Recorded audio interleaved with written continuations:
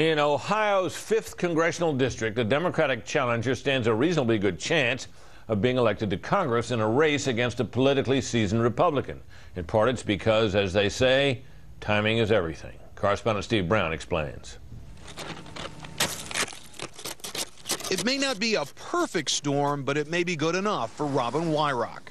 I think it's a great time right now. I think I'm in the right place at the right time, and uh, and as many of us are saying, it's our time. Weirauch, a Democrat who's run unsuccessfully for Congress twice, is in a surprisingly tight battle with Republican state lawmaker Bob Latta in Tuesday's special election. Voters from Ohio's 5th District will select a replacement for longtime GOP Congressman Paul Gillmor, who died in September. The district is normally GOP turf. This district is so prominently Republican, it supported George Bush at 61% in 2004 versus 51% at the state level.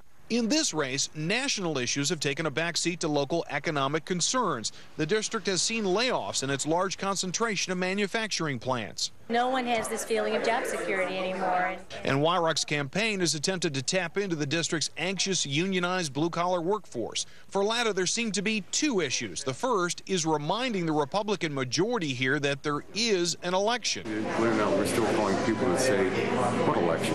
The special election called by Democratic Governor Ted Strickland is just two weeks before Christmas. Latta expects turnout to be less than 20%. Factor in Mother Nature, and it could go lower.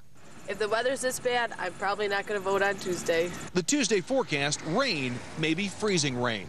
Over a million dollars worth of TV ads by outside groups are also a factor. One ad may have a lingering impact on Latta. In the primary, the anti-tax group Club for Growth hammered Latta's support of a hike in Ohio's gasoline tax.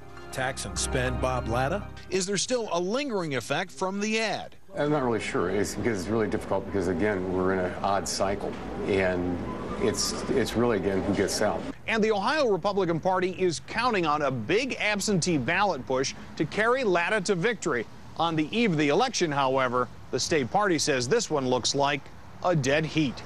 In Bowling Green, Steve Brown, Fox News.